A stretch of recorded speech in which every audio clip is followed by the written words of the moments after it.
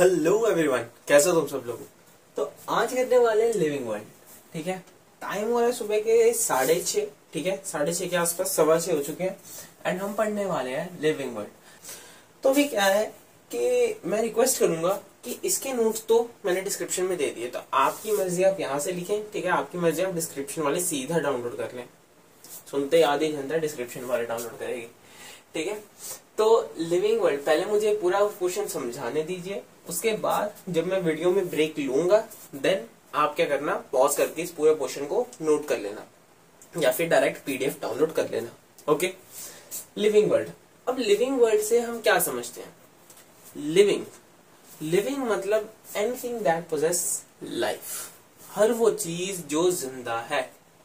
तुम ज़िंदा हो, मैं ज़िंदा हूँ। ठीक है? मेरी फैमिली भी ज़िंदा है, भगवान की दया से, तुम्हारी फैमिली भी ज़िंदा है। ठीक है? तो सब खुश रहे। तो लिविंग का मतलब क्या है? लिविंग का मतलब एनीथिंग दैट पोजेस लाइफ देखो, अब तक अगर मैं तुमसे पूछूँ कि लिविंग के क्या क्या फीचर्स होते हैं तो तुम क्या मुझे क्या बताओगे कि लिविंग जो है, वो सांस ले सकते हैं? बिल्कुल ले सकते हैं। जो लिविंग है, वो रिप्रोड्यूस कर सकते हैं, बिल्कुल कर सकते हैं। एक मैंने बहुत इंपॉर्टेंट ऑफलाइन में मैंने ना एक स्टूडेंट से ये पॉइंट पूछा था तो उसने मुझे बताया कि लिविंग थिंग्स को लिविंग ऑर्गेनिजम्स को डिज़ीज़ लग सकती है। तो ये भी काफ़ी अच्छा पॉइंट है। ठीक है? कि उनको डिज़ीज़ लग सकती है। बट क्या कुछ ऐसे फीचर्स कुछ ऐसे फैक्टर्स एग्जिस्ट करते हैं जो कि मुझे लिविंग एंड नॉन लिविंग में फ़र्क बता सकते हैं? यस yes, करते हैं। दो टाइप के फैक्टर्स होते हैं। Defining features and characteristic features आपके सामने लिखे हुए हैं। डिफाइनिंग फीचर्स जो होते हैं they are compulsory features example समझो। आप स्कूल गए, ठीक है? आप स्कूल गए तो यूनिफॉर्म पहन के जाओगे, शेरवानी तो पहन के नहीं जाओगे ना? तो आप जब स्कूल जाते हो तो हमेशा अपनी यूनिफॉर्म पहन के जाते हो। अब वो जो आपने यूनिफॉर्म पहनी हुई है, क्या वो आपका डिफाइनिंग फीचर नहीं है? ऑब्वियसली है, मान लो कि मैं कह रहा हूँ कि कोई एमजीएन का बच्चा है, ठीक है? कोई एमजीएन का बच्चा है तो मैं क्या बोलूँगा कि इसने एमजीएन की यूनिफॉर्म पहनी हुई है, इसलिए मुझे पता लग गया कि ये एमजीएन का बच्चा है। ठीक है? कोई किसी एक्स स्कूल का बच्चा है तो मैं कहूँगा कि इसने एक्स स्कूल की यूनिफॉर्म पहनी हुई है दैट मुझे पता लग गया। तो ये उसका डिफाइनिंग फीचर हो गया कंपलसरी फीचर स्कूल में आप शेरवानी नहीं पहन सकते। आपको कंपल्शन है कि आपको यूनिफॉर्म ही पहननी पड़ेगी। ठीक है? तो वो आपका एक डिफाइनिंग फीचर हो गया। ऐसे डिफाइनिंग फीचर में कंपल्शन आती है तो आती क्या है? कंपल्शन ये आती है कि ये फीचर्स सिर्फ़ और सिर्फ़ नॉन लिविंग में ही सॉरी लिविंग में ही प्रेजेंट होंगे। सर आप तो पूरा टॉपिक ही उल्टा कर रहे हो। ये सभी फीचर्स जो है, ये पूरा का पूरा लिविंग में ही प्रेजेंट होंगे। नॉन लिविंग में ये आपको नहीं देखने को मिलेंगे। सेकंड पे आते हैं हमारे कैरेक्टरिस्टिक फीचर ये जो कैरेक्टरिस्टिक फीचर्स होते हैं, ये आपके लिविंग एंड नॉन लिविंग दोनों में देखने को मिल जाते हैं। ठीक है? बाकी सिनेरियोस का थोड़ा फ़र्क होता है बट हाँ देखने में दोनों में मिल जाते हैं। अब एग्ज़ाम्पल देखने शुरू करते हैं। देखो डिफाइनिंग की तो तीन एग्ज़ाम्पल है जो मोस्ट इंपॉर्टेंट है एनसीआरटी से। सबसे पहला is metabolism second is cellular organisation and third one is consciousness metabolism वैसे इन सभी फीचर्स को ना हम आगे थोड़ा डिटेल में पढ़ेंगे, ठीक है? मेटाबॉलिज्म वगैरह को अलग अलग करके पढ़ेंगे। अभी के लिए सिर्फ़ इतना समझो कि मेटाबॉलिज्म होता है आपकी बॉडी के अंदर जितनी भी सेल रिएक्शंस हो रही है ना, उनका सम टोटल दैट्स इट वो एक ग्रीन टी की एड में बोलते नहीं है वो? डैश ग्रीन टी आदत डाल लो। मेटाबॉलिज्म बढ़ाए बॉडी फैट घटाए, ठीक है? तो मेटाबॉलिज्म का मतलब सेल रिएक्शन जब हम ग्रीन टी पीते हैं तो वो क्या चीज़ हो रही है? हमारी सेल की रिएक्शन बढ़ रही है। सेल रिएक्शन का सम टोटल बढ़ रहा है। ठीक है? जिसकी वजह से वो दावा करते हैं कि इंसान इसको पी के एंड एक्सरसाइज करके पतला हो जाएगा। ठीक है? तो मैं भी आपको इस एग्जांपल से याद रहेगा। सेकेंड इज़ सेल्युलर ऑर्गेनाइजेशन अब सेल्युलर ऑर्गेनाइजेशन क्या है? सेल्युलर ऑर्गेनाइजेशन होगी आपकी कि हम एक सेल से शुरू होके इतना बड़ा कॉम्प्लेक्स ऑर्गेनिज्म बन गया ना। कभी सोचा एक जायगोट से हमारी शुरुआत हुई थी। एक जायगोट से शुरू होके हम क्या ऑर्गेनिज्म बन गए हैं पूरा? तो ये हमारी सेल्युलर ऑर्गेनाइजेशन ही तो है। हमारी बॉडी में डिफरेंट ऑर्गन के अंदर डिफरेंट सेल्स हैं डिफरेंट टिश्यूज हैं। ठीक है? हार्ट के अंदर जो है डिफरेंट सेल्स काम करते हैं। लंग्स के अंदर डिफरेंट सेल्स काम करते हैं। ठीक है? मसल सेल्स अलग हैं। ठीक है? उसके बाद हमारे ब्रेन सेल्स अलग हैं। तो ये क्या है? ये सब हमारी वेराइटी है। यानी कि ये हमारा पूरा एक सेल्युलर ऑर्गेनाइजेशन है। तो ये चीज़ भी हमको सिर्फ़ लिविंग में देखने को मिलेगी। नॉन लिविंग में ये चीज़ नहीं देखने को मिलती। ठीक है?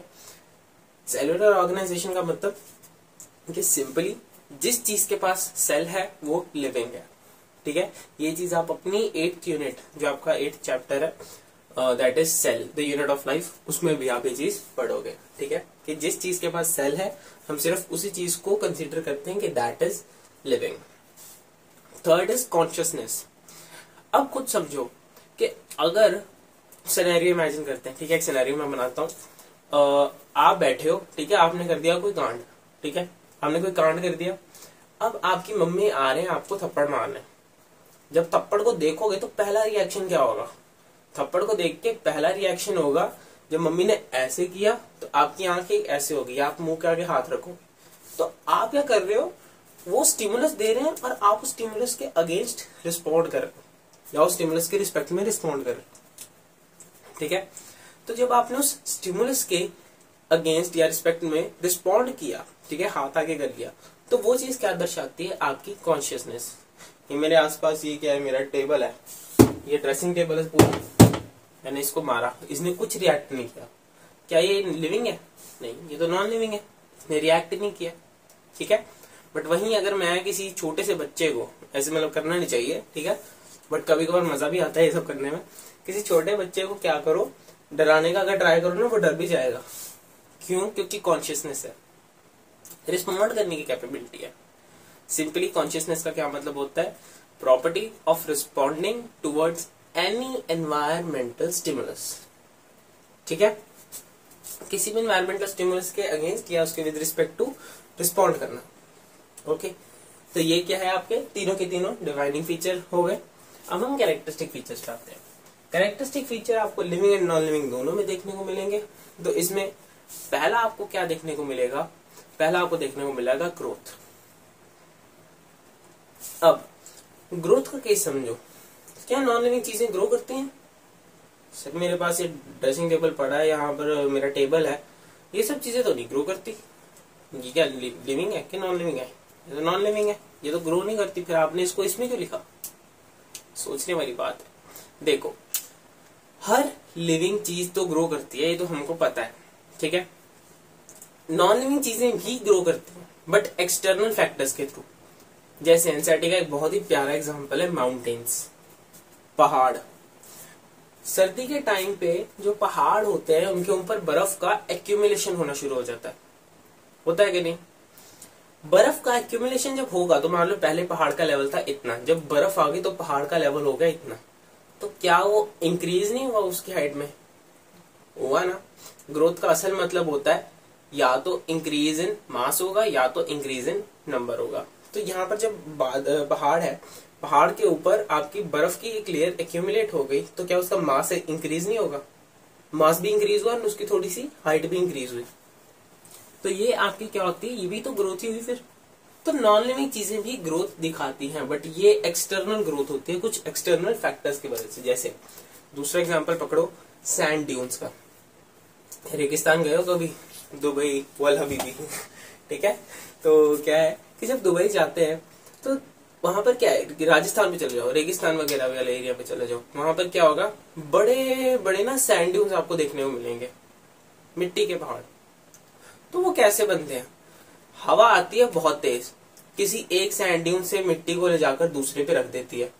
ऐसे करके पूरे रेगिस्तान में ये मिट्टी का सर्कल चलता रहता है। तो अब एक चीज़ को सोचना। क्या ये मिट्टी उसके ऊपर जाके किसी दूसरे सैंड ड्यून से, मान लिया ए सैंड ड्यून था और ये बी था ए से मिट्टी निकल के बी के ऊपर एक्यूमुलेट हो गई। तो बी का साइज़ इंक्रीज हो गया, ठीक है? यानी कि बी जो है, वो ग्रो कर गया। मज़े की बात हम आगे पढ़ेंगे, जब मैं ग्रोथ को डिटेल में बताऊँगा, क्योंकि ग्रोथ भी दो तरीके की होती है। एक रिवर्सिबल वाली, एक इरिवर्सिबल वाली, ठीक है? एक्सट्रेंसिक एंड इंट्रेंसिक ठीक है? वो हम तब पढ़ेंगे जब मैं आगे आगे जाऊँगा। तो ग्रोथ हो गया। सर रिप्रोडक्शन को क्यों रखा? रिप्रोडक्शन तो पॉसिबल ही नहीं है नॉन लिविंग में। लिविंग में तो मान लिया कि रिप्रोडक्शन हो सकती है। नॉन लिविंग में रिप्रोडक्शन कब से होने लग गई? नॉन लिविंग में रिप्रोडक्शन नहीं होती। बात सही है। अगर मैं दो टेबल को आपस में छोड़ दूँगा, ठीक है तो वो रिप्रोड्यूस करके मुझे एक कुर्सी नहीं देंगे। ठीक है? तो ये चीज़ रिप्रोड्यूस नहीं करती। नॉन लिविंग चीज़ें रिप्रोड्यूस नहीं करेंगी। तो मैंने इसको यहाँ क्यों लिखा? क्योंकि ये एक एक्सेप्शन है। मैं बोल रहा हूँ कि सभी जो चीज़ें, सभी लिविंग चीज़ें जो प्रॉपर्टी शो कर रही होंगी, वो मैं डिफाइनिंग में लिखूँगा। कायदे से तो आना तो ये भी चाहिए था। अगर आपको मेरी अगली बात नहीं पता तो। रिप्रोडक्शन सभी लिविंग ऑर्गेनिजम्स नहीं कर सकते। ठीक है? इसकी दो तीन एग्ज़ाम्पल जो एनसीआरटी से हैं दैट आर म्यूल्स सबसे पहले। ठीक है? Mules if I am not wrong mules को जो है, हिंदी में खच्चर कहते हैं। मुझे थोड़ा हिंदी का है मेरा। ठीक है? म्यूल्स को हिंदी में खच्चर कहते हैं, ठीक है?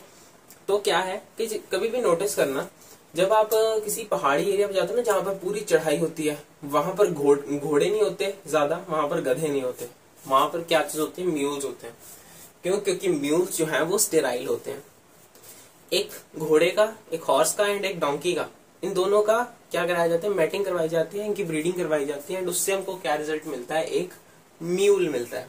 एम यू एल ई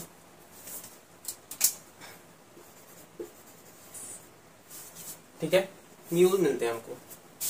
तो अब क्या हो रहा है कि ये जो म्यूज होते हैं ना, ये सेक्सुअली स्टेराइल होते हैं। ये रिप्रोड्यूस नहीं कर सकते। ठीक है? ये बच्चे नहीं पैदा कर सकते। तो इसका एडवांटेज इनके ओनर्स को मिलता है, ठीक है? ताकि इनसे सारी ज़िंदगी गदा मजदूरी करवा सकते हैं। ठीक है? वैसे तो बहुत गलत चीज़ है यार ये। अगर आप सोचते हो कि चढ़ाई करनी है तो यार खुद के दम पे करो। इन जानवरों ने क्या बिगाड़ा है तुम्हारा? ठीक है, कईयों को इमरजेंसी वाला केस होता है, कहीं नहीं चढ़ सकते बट दर्शन करने का दिल होता है, उनके केस में चलता है। बट जवान जवान लोग करते हैं, फिर वो थोड़ा काम रेलिवेंट सा लगता है। क्या रिप्रोडक्शन जो नहीं कर सकते लिविंग ऑर्गेनिजम्स होते हुए भी, उसका एक एग्ज़ाम्पल तो हो गया म्यूल्स सेकेंड एग्ज़ाम्पल उसका आ जाएगा स्टेराइल ह्यूमन कपल आपने एक टेक्निक के बारे में सुना होगा आईवीएफ ठीक है? आपने पढ़ा होगा एट क्लास में। तो आईवीएफ के बारे में जब आप सुनते हो तो आपके दिमाग में सबसे पहले क्या आता है कि ये कपल जो है, ये ह्यूमन कपल जो है, ये खुद बेबी मतलब बेयर नहीं कर सकते। इनको एक्सटर्नली फर्टिलाइजेशन करवाने की ज़रूरत है। तो अब खुद सोचो, क्या ये कपल जो है, ये स्टेराइल कपल नहीं हुए? बिल्कुल हुए। ठीक है? क्योंकि ये खुद रिप्रोड्यूस नहीं कर सकते। That's they are sterile human couples तीसरा वर्कर बी अच्छा वर्कर बी ना बेस्ट एग्जांपल है, ठीक है? तीसरा जो पॉइंट आता है इसमें, वो वर्कर बी का ही आता है, ठीक है? स्टेराइल वाले पोर्शन में। वर्कर बी जो होते हैं, वो भी स्टेराइल होते हैं, ठीक है? वो भी रिप्रोड्यूस नहीं कर सकते। वर्कर बी का काम होता है सिर्फ़ नाइन टू फाइव जॉब करो और मर जाओ एक दिन, ठीक है? तो ये जो है, ये तीनों ही रिप्रोड्यूस नहीं कर सकते। मैंने किसकी किसकी बात की? Mules sterile human beings and worker bee ठीक है? तो ये बात ठहरी मेरे रिप्रोडक्शन की। सेगमेंट वन हमारा क्लियर हो गया। सेगमेंट टू पे आते हैं। अब मैंने क्या बोला? इन सबको हम एक एक करके डिटेल में पढ़ेंगे। तो मैं सबसे पहले कैरेक्टरिस्टिक फीचर्स को शुरू करूँगा। सबसे पहला मेरा कैरेक्टरिस्टिक फीचर क्या था? ग्रोथ तो ग्रोथ देखो अब। ग्रोथ ना, मेरा पहला पॉइंट इसका ये आएगा कि कैरेक्टरिस्टिक फीचर है। ठीक है? मतलब लिविंग एंड नॉन लिविंग दोनों में देखने को मिलेगी। अब ग्रोथ होती है भैया दो तरीके की। पहला एक्सटेंसिक दूसरा इंट्रेंसिक ठीक है? एक्सट्रेंसिक में वर्ड आ रहा है एक्स्ट ई एक्स टी एक्स्ट एक्स्ट को आप रिलेट कर सकते हो एक्सटर्नल से। ठीक है? ये जो ई एक्स टी आ रहा है, इसको आप रिलेट कर सकते हो किससे? एक्सटर्नल से। जबकि दूसरा जो इंटरनल है, उसमें आई एन टी इसको आप रिलेट कर सकते हो इंटरनल से। मतलब कि एक्सटेंसिक मतलब एक्सटर्नल ग्रोथ होगी, बाहर से ग्रोथ होगी। एंड इंटेंसिक मतलब इंटरनली ग्रो करेंगे। ह्यूमन कौन सी वाली ग्रोथ शो करते हैं? एक्सटर्नल ह्यूमन शो करते हैं ये वाली। ठीक है? तो ध्यान से मेरी बात समझना। जो आपकी एक्सटेंसिक ग्रोथ होती है ना उसका सबसे मेन पॉइंट क्या है? कि ये एक टाइप की रिवर्सिबल ग्रोथ होती है। जो मैंने अभी आपको पहाड़ की एग्जांपल दी थी ना, पहाड़ की सैंड ड्यून्स की, ये एग्जांपल मेरी किसकी थी? ये एग्जांपल थी मेरी एक्सटेंसिक ग्रोथ की। ठीक है? तो ये एक्सटेंसिक ग्रोथ की जो मेरी एग्जांपल थी, वो क्या थी? पहाड़ हो गया, ठीक है? पहाड़ के ऊपर स्नो का एक्यूमुलेशन हो गया माउंटेन के ऊपर, या सैंड ड्यून्स हो गए, ठीक है? तो रिवर्सिबल कैसे? देखो, खुद सोचो। ठंड का मौसम है पहाड़ की हाइट मान लो ओरिजिनल हाइट इतनी थी, बर्फ़ आई तो इतनी हो गई। क्या जब गर्मी आएगी तो यही बर्फ़ पिघलेगी नहीं? क्या ग्लेशियर्स पिघलते नहीं सोचो, खुद सोच के बताओ, ये बर्फ़ क्या होगी? पिघल जाएगी। ये पिघलने के बाद क्या होगा? वापस से ओरिजिनल लेवल पर तो आ गई। पहले बढ़ी पहले बढ़ गई, फिर घट गई। तो ये क्या हुआ इसका? रिवर्स गियर लग गया। मतलब कि ये रिवर्सिबल ग्रोथ है। जबकि जो इंट्रेंसिक ग्रोथ होती है, यानी कि हमारे अंदर जो ग्रोथ होती है, वो कैसी होती है? इसमें ह्यूमन हाइट की एग्ज़ाम्पल मान लेता हूँ। ठीक है? इंटरनल ग्रोथ का मतलब होता है कि कुछ इंटरनली फैक्टर्स जो होंगे, वो ग्रोथ को मतलब रिप्रेजेंट करेंगे। जैसे, आपने एक हार्मोन सुना होगा, पढ़ा नहीं होगा अभी, सुना होगा H H human growth hormone ठीक है? पिट्यूटरी ग्लैंड उसको सेक्रेट करता है पिट्यूटरी से होता है। तो ह्यूमन ग्रोथ हार्मोन जो होता है, आपने सुना होगा, जिनकी हाइट जो है कम रहते हैं, उनको कहा जाता है कि आपका एच जी एच का लेवल सेक्रेशन का लेवल बढ़ाने के लिए डाइट अच्छी लो। तो जब ह्यूमन ग्रोथ हार्मोन बढ़ता है, तब इंसान की ह्यूमन की हाइट बढ़ती है। तो ये हमारी बॉडी के अंदर ये फैक्टर चल रहा है ना एच जी एच जो हार्मोन है ह्यूमन ग्रोथ हार्मोन ये हमारी बॉडी के अंदर चल रहा है, ठीक है? पिट्यूटरी से रिलीज़ होता है तो बॉडी के अंदर है ये फैक्टर हमारा। तो इंटरनल फैक्टर्स से होने वाली growth is your what intrinsic growth clear है भाई? ये इंट्रेंसिक ग्रोथ आ गई। अब एक्सट्रेंसिक ग्रोथ के बाद नेक्स्ट हम क्या करेंगे कि ये इनरिवर्सिबल होती है। ऑब्वियसली यार, देखो, सबसे बढ़िया एग्जांपल देता हूँ तुमको एग्ज़ाम तक रिलेट कर सकते हो इस चीज़ से। जब कम उम्र में जिम जाने की बात करते हो तो मम्मियों का सबसे पहला रिएक्शन क्या होता है? मम्मियों का सबसे पहला रिएक्शन होता है कि जिम अभी नहीं जाना हाइट रुक जाएगी।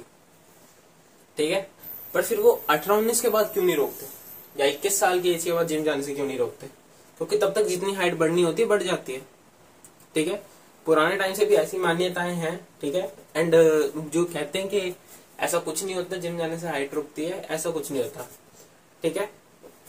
ऐसा सिर्फ़ तब होता है जब क्या चीज़ होती है, आप थोड़ा बॉडी के शोल्डर लेवल से ऊपर की एक्सरसाइज करो। क्योंकि उसमें आपकी स्पाइन जो है वो ज़्यादा एंगेज हो जाती है। ठीक है? तो उस केस में आपकी स्पाइन जो है वो प्रेस होती है, उस पर प्रेशर आता है एडिशनल प्रेशर फालतू का, जिसकी वजह से चांसेस कम हो जाते हैं आपकी हाइट इंक्रीज होने के। ऐसा नहीं कि हाइट रुक की जाती है। नहीं चांसेस थोड़े से कम हो जाते हैं। रिवर्सिबल ग्रोथ होगी ठीक है? इरिवर्सिबल सॉरी यानी कि मेरी एक बार अगर मान लो हाइट पाँच आठ हो गई तो मेरी हाइट पाँच आठ से नीचे नहीं जा सकती है। मेरी हाइट अगर एक बार छह फुट हो गई तो छह फुट से नीचे नहीं जा सकती। ठीक है? Reproduction second characteristic feature reproduction के बारे में पढ़ेंगे। अब रिप्रोडक्शन क्या है? रिप्रोडक्शन सिंपली आपका एक वो वाली चीज़ है जो कि हम बहुत छोटी क्लासेस से पढ़ते आ रहे हैं। बहुत छोटी क्लासेस से लाइक सेवन टू एट से हम पढ़ते आ रहे हैं रिप्रोडक्शन के बारे में, क्या होता है? ऑफ़ को जन्म देना ऑफ़ देयर ओन स्पीशी अपनी स्पीशी के ऑफ़ को जन्म देना। इंसान का बच्चा गधे को जन्म नहीं दे सकता, ठीक है? हाँ वो बात अलग है, कई दे देते हैं। बच्चे उनके गधे निकलते बाद में, ठीक है? बट इंसान का बच्चा गधे को जन्म नहीं दे सकता। तो रिप्रोडक्शन का क्या मतलब हुआ? अपनी जैसी सेम स्पीशी के ऑफ़ को जन्म देना, पैदा करना, ठीक है? प्रोड्यूस करना।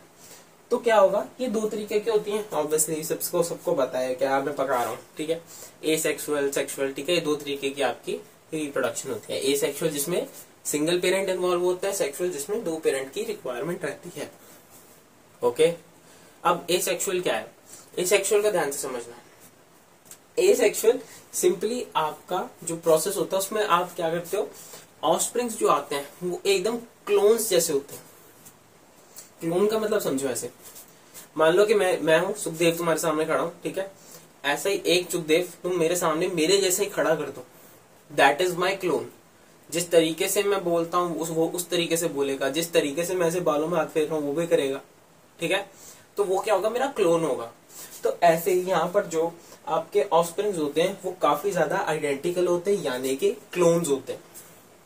ठीक है? Clones C L O N S clones होते हैं। ठीक है? जबकि अगर मैं सेक्सुअल की बात करूँ तो सेक्सुअल रिप्रोडक्शन में वेरिएशन आती हैं डिफरेंसेस आते हैं। जैसे, देखो ए सेक्सुअल का तो क्या था? जैसा अमीबा का पहला वाला सेल दिख रहा था डिवीज़न के बाद वैसे ही उसके दो सेल्स दिखेंगे। है ना जी? अमीबा का जैसा पहला सेल था, वैसे उसके बाद के दो सेल दिखेंगे अमीबा कैसे डिवाइड करेगा? अमीबा ऐसे तो करता है।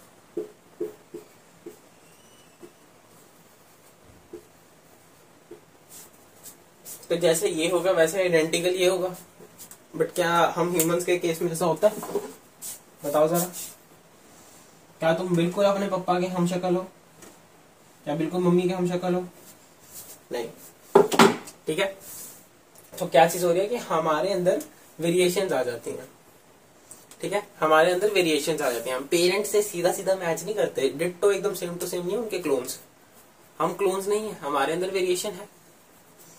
मेरे आ, मेरे पापा की जो शक्ल है कहते हैं कि जब मेरे पापा छोटे होते थे तब उनकी शक्ल मेरे जैसी दिखती होती तो वो तो मतलब जेनुअन बात होगी ना ठीक है? बट अभी ऐसा तो नहीं है कि मैं अपने पापा का बिल्कुल हम शक्ल ही हूँ ठीक है?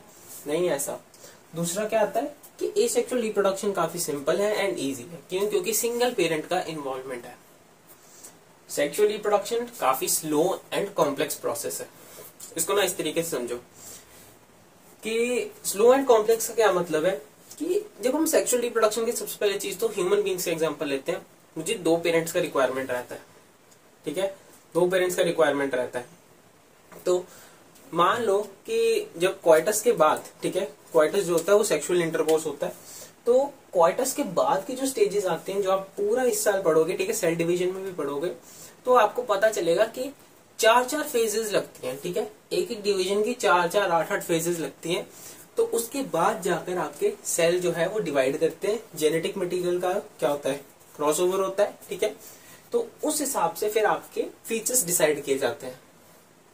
ठीक है? उस हिसाब से आपके फीचर्स डिसाइड किए जाते हैं। आपके कुछ फीचर आपके पापा से मिल रहे होंगे, कुछ फीचर आपके मम्मा से मिल रहे होंगे, कुछ फीचर आपके सिबलिंग से मिल रहे होंगे, क्योंकि एट द एंड वो भी आपके पेरेंट्स का ही एक प्रोडक्ट है। ठीक है? तो क्या हो रहा है कि आपके दोनों पेरेंट्स का जेनेटिक मटेरियल एक पॉइंट पे क्रॉस ओवर करता है।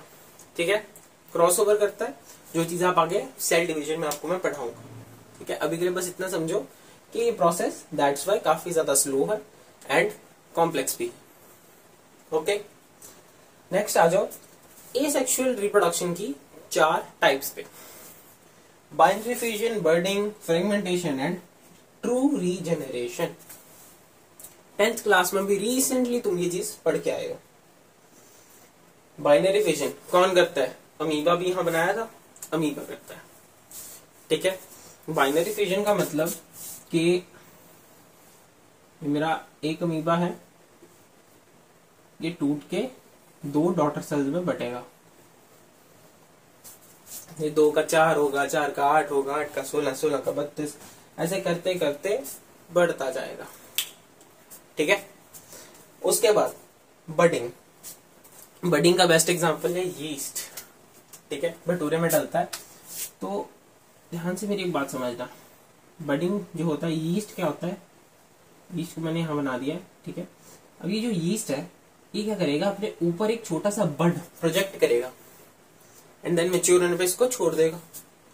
तो ये आ गई बडिंग बडिंग मतलब बड बनने का प्रोसेस ठीक है? ऐसे आपका जो हाइड्रा होता है, वो भी यही सेम चीज़ करता है। नेक्स्ट इज़ फ्रेगमेंटेशन फ्रेगमेंटेशन को समझो।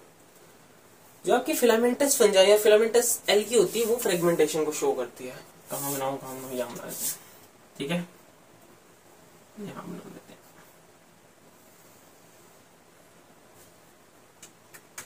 Just a minute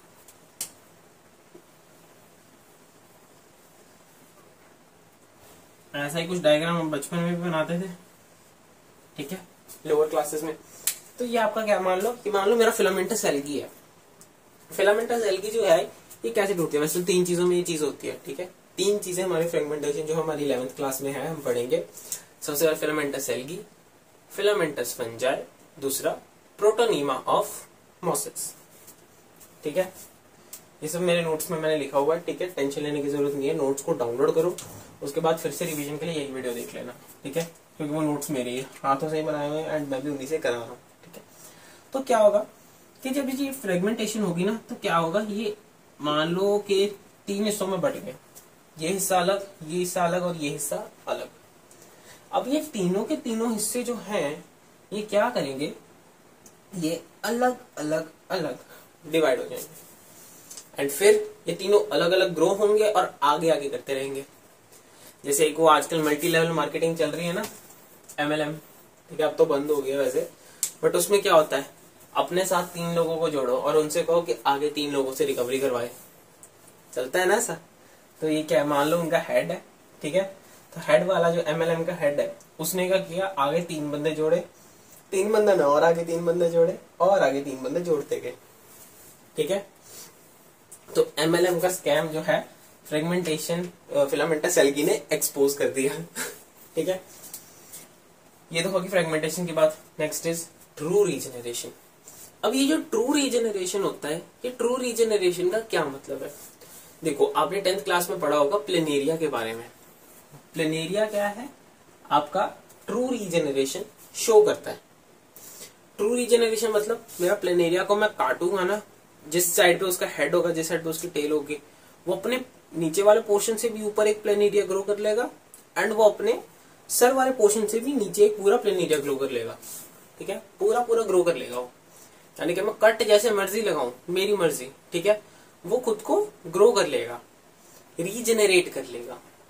That's why it's called true regeneration ठीक है? होप करता हूँ। इतना पॉइंट आपको समझ आया। नेक्स्ट हमारी एनसीआरटी का ही एक बहुत इंपॉर्टेंट पॉइंट है कि in unicellular organisms growth and reproduction are mutually inclusive events ये काफ़ी इंपॉर्टेंट पॉइंट है, इसमें से क्वेश्चन आना ही आना है। कि सर क्या बोला जा रहा है यहाँ पे? Growth and reproduction are mutually inclusive events साथ साथ में होते हैं? ऐसा कब हो गया? देखो पहले तो एक सेकंड ये पूरा नोट कर लो। जल्दी से इसका पॉज करके स्क्रीनशॉट मारो। फिर मैं आगे करता हूँ। कर लिया? ठीक है।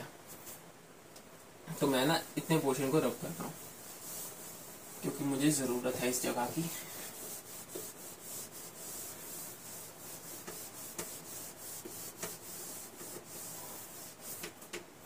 इतनी सी जगह की कर लेते हैं। अब देखो मैंने आपको क्या बताया था?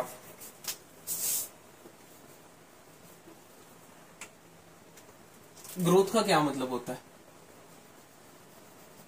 ग्रोथ का मतलब होता है, आयदर इंक्रीज इन नंबर या तो इंक्रीज इन मास या तो कोई चीज़ इंक्रीज इन नंबर होगी या तो किसी चीज़ का मास इंक्रीज होगा। तभी मुझे खुद सोच के बताना। अमीबा है एक। डिवाइड किया दो में।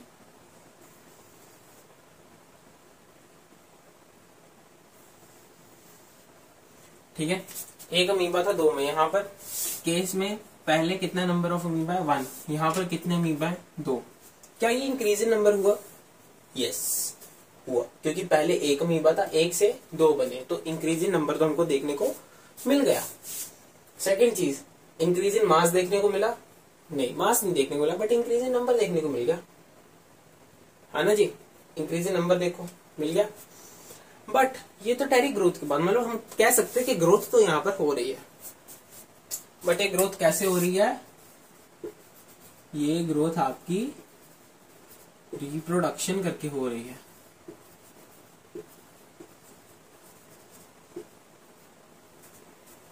ठीक है? ये ग्रोथ आपकी कैसे हो रही है? रिप्रोडक्शन करके हो रही है। अब रिप्रोडक्शन की वजह से ग्रोथ हुई या ग्रोथ की वजह से रिप्रोडक्शन हुई? वो अक्षय कुमार का मीम है ना, ऐसे वाला? वो वाला। तो ये बहुत ही ना एक कैसा है, एक वो केस है जहाँ पर आपकी ग्रोथ एंड आपकी रिप्रोडक्शन दोनों सेम टाइम पर चल रही है साइमल्टेनियसली चल रही है। तो हम क्या बोलते हैं? एनसीआरटी की जो लाइन है कि इन यूनिसेलुलर ऑर्गेनिज्म अमीबा है भाई यूनिसेलुलर है।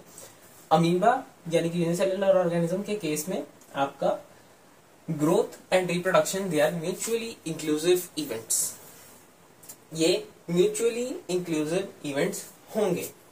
यानी कि जैसे ही मेरा रिप्रोडक्शन हुआ, साथ ही में क्या हो रहा है रिप्रोडक्शन के साथ साथ साइमल्टेनियसली मेरा क्या चल रहा है? ग्रोथ ही तो चल रहा है।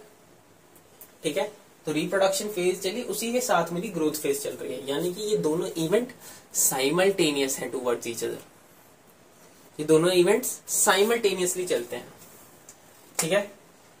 ये एनसीआरटी का एक बहुत ही इंपॉर्टेंट पोर्शन था। नेक्स्ट हम क्या करेंगे? इसके बाद आगे पोर्शन को कंटिन्यू करेंगे। फटाफट से इसको नोट कर लो।